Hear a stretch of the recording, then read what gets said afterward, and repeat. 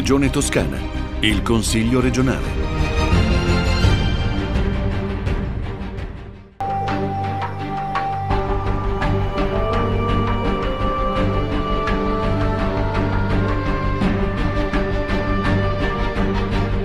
In Consiglio regionale dibattito sulla Banca Monte dei Paschi di Siena con una risoluzione unitaria sottoscritta dalle forze di maggioranza e di minoranza con esclusione di Fratelli d'Italia per dare al Presidente Gianni la forza di portare una posizione largamente condivisa dal Consiglio regionale al governo nazionale al fine di tutelare il marchio, i posti di lavoro e la governance in Toscana della Banca Senese. In particolare con questo atto il Consiglio regionale impegna la Giunta a proseguire il confronto istituzionale aperto con il governo a difesa del risparmio e del credito in Toscana, nella ricerca delle migliori soluzioni tecniche possibili per garantire un futuro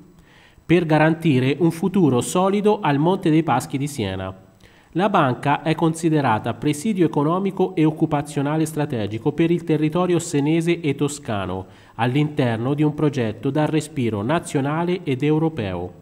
La Giunta dovrà quindi valutare, in coordinamento con il Comune e la Provincia di Siena e la stessa Fondazione Monte dei Paschi di Siena, la possibilità di chiedere a livello nazionale e delle istituzioni europee il prolungamento del mantenimento della partecipazione pubblica nel capitale della banca, con il rinvio della privatizzazione e una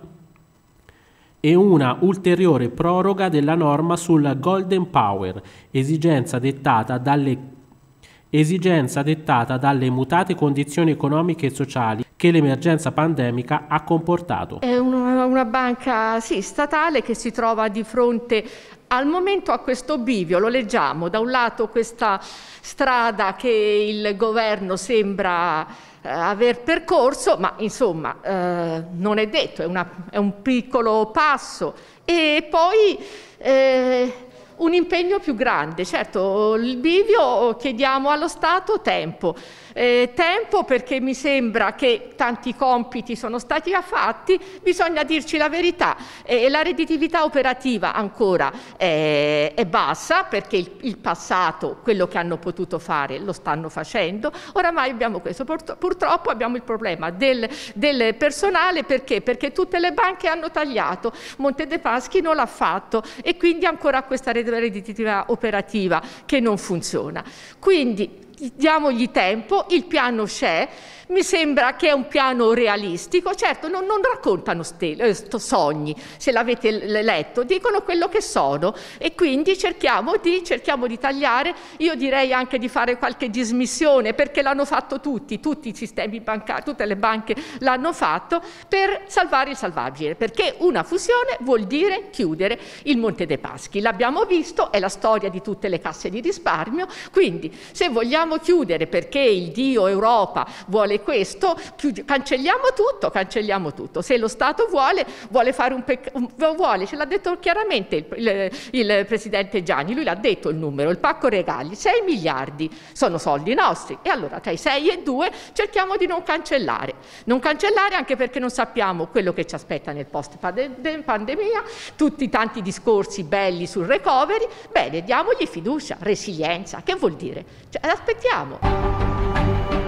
Monte dei Paschi è la principale azienda della Toscana, è l'azienda più antica bancaria oggi ancora esistente nel nostro paese, deve essere ambiziosa. Siena è una città ambiziosa, lo è la Toscana, l'obiettivo è supportare il nostro Presidente al cospetto del Governo per fare in modo che Monte rimanga la terza banca d'Italia, per fare questo deve essere coprotagonista di un processo di crescita con soggetti paritetici e soprattutto il Governo deve fare la propria parte.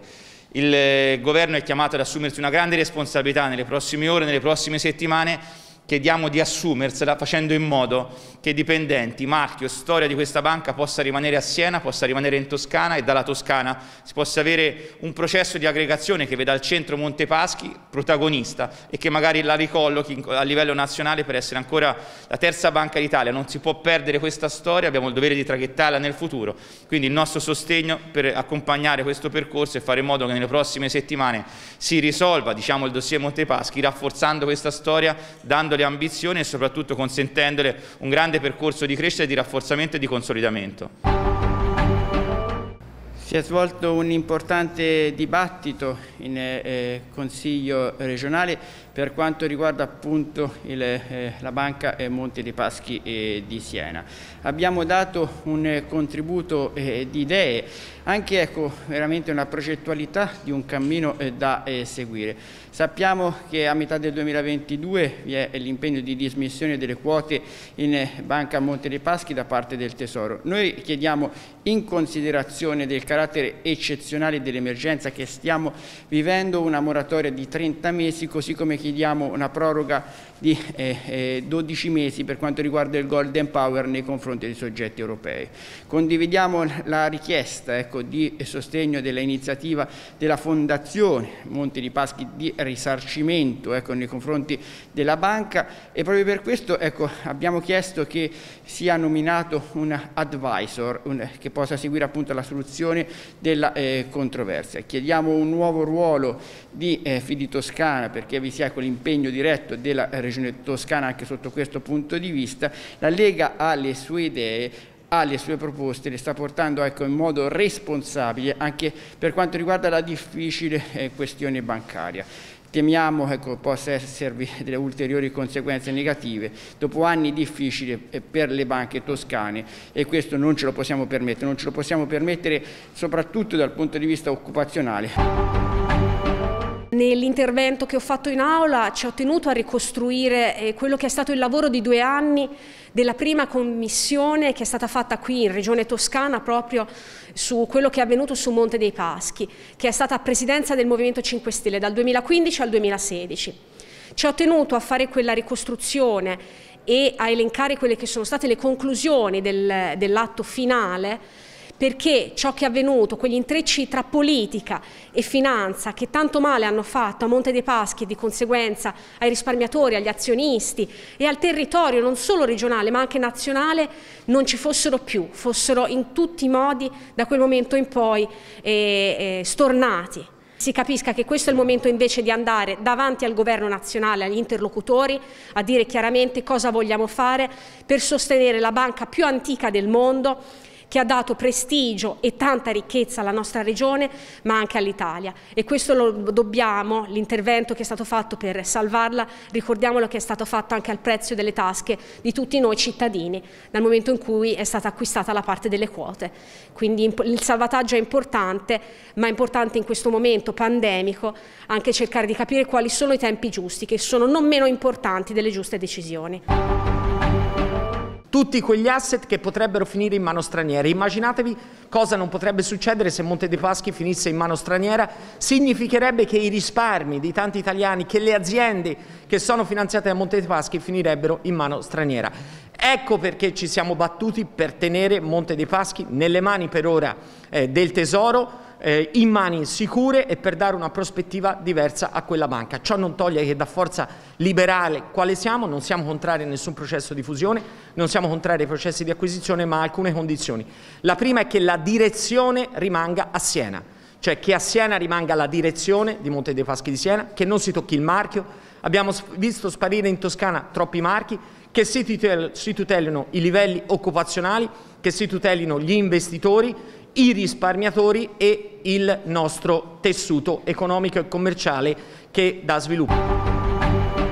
soprattutto preso atto, considerato che in Toscana se escludiamo Cassa di risparmio di Volterra non c'è più una banca che ha qui appunto testa e gambe. Per questo motivo abbiamo parlato quindi di Monte dei Paschi di Siena, ma se parliamo di questo argomento noi riteniamo che non si possa non ripensare il ruolo e la funzione di Fidi Toscana, soprattutto anche tenuto conto di quello che ha detto il governatore Gianni nei mesi scorsi e rispetto a questo argomento però siamo rimasti perplessi del fatto che non sia stato minimamente preso in considerazione la discussione odierna da parte sia di Gianni che della maggioranza. Quindi noi abbiamo presentato un ordine del giorno impegnando il Consiglio a discutere entro eh, un termine relativamente breve del futuro di Fidi Toscana proprio nella prospettiva di dare alla Toscana un istituto che possa accompagnare il tessuto socio-economico industriale toscano rispetto alle sfide del futuro. Una Toscana senza banche è una Toscana più debole, è una Toscana dove eh, gli imprenditori, gli industriali ma anche le famiglie non hanno un'interlocuzione diretta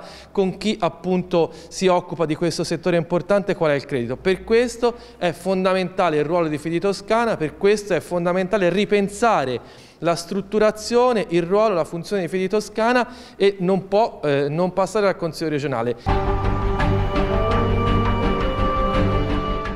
Firmato in Regione Toscana il protocollo d'intesa per l'accesso, la verifica e il rispetto della legalità nelle carceri della Regione. La firma è avvenuta alla presenza del Presidente del la firma, avvenuta alla presenza del Presidente del Consiglio regionale Antonio Mazzeo, con il provveditore per l'amministrazione penitenziaria Carmelo Cantone e il garante dei detenuti per la Toscana Giuseppe Fanfani. Si tratta di un impegno reciproco per realizzare la più ampia collaborazione nella tutela dei diritti si tratta di un impegno reciproco per realizzare la più ampia collaborazione nella tutela dei diritti dei detenuti, nel miglioramento degli standard di qualità della vita e nel rispetto della legalità negli istituti penitenziari della Toscana. Il carcere è un luogo di sofferenza, in relazione al quale tutti gli operatori e tutte le figure istituzionali che sono chiamate a confrontarsi con essa devono avere una particolare attenzione. Abbiamo cercato di mettere assieme al eh, provveditorato eh, il, tutti gli aspetti particolarmente delicati di questa situazione e li abbiamo tradotti in un protocollo d'intesa che fa sì che tutte le garanzie costituzionali per i detenuti che vanno dalla salute all'istruzione e quant'altro noto vengano correttamente attuate.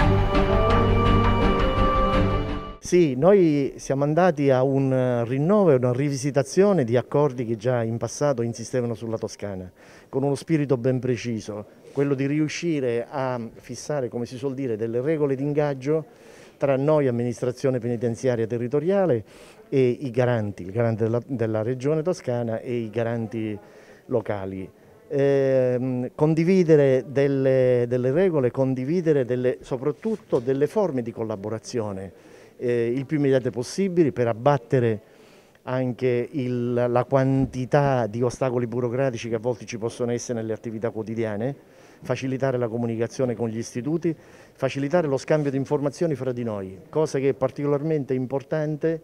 in questa fase della vita del, del mondo penitenziario nel Paese. Veniamo da, da un anno difficilissimo, abbiamo la necessità tutti di mettere fuori la testa e di riprendere una serie di, di collegamenti, di azioni buone all'interno degli istituti. Allora un grande patto con, con, i garanti del territorio è fondamentale proprio per incrementare la presenza del territorio all'interno degli istituti. Su questo ovviamente l'accordo è fatto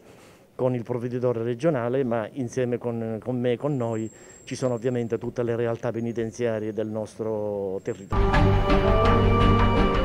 Eh, io ho voluto accoglierlo subito qui questa firma perché ho detto dall'inizio della mia esperienza come Presidente del Consiglio regionale che questo luogo, il Consiglio regionale, deve essere un luogo per dare voce a chi ha meno voce. E quindi questo eh, accordo va esattamente in quella direzione. Fare in modo che la vita nelle carceri possa migliorare, fare in modo che quelle persone che hanno commesso dei reati vadano riformate, vadano reinserite in una vita migliore di quella che avevano prima. Io penso che eh, una democrazia eh, una civiltà si misuri in funzione del livello delle sue carceri. Per questo dall'inizio sono andato a visitare a Sollicciano, sono stato al Don Bosco e insieme al sindaco Dario Nardella avevo chiesto di vaccinare la polizia penitenziaria, poi i detenuti e sono contento che il ministro Cartabia da subito abbia chiesto di vaccinarli rapidamente per evitare che il virus entri all'interno delle carceri, vivono in maniera molto ravvicinata, il rischio del contagio è molto, è molto grande. Eh, ora però serve uno scatto in avanti, servirebbe fare in modo che anche le strutture possano migliorare, eh, vedere 6, 8 persone nello stesso luogo, stretto, piccolo, con bagni fatiscenti. Ecco, eh, io vorrei fare su questo una battaglia e finire il mio giro nelle carceri per poter mandare un dossier, un resoconto di quella è la situazione delle carceri toscane insieme al garante al nuovo Ministro. Regione Toscana, il Consiglio regionale.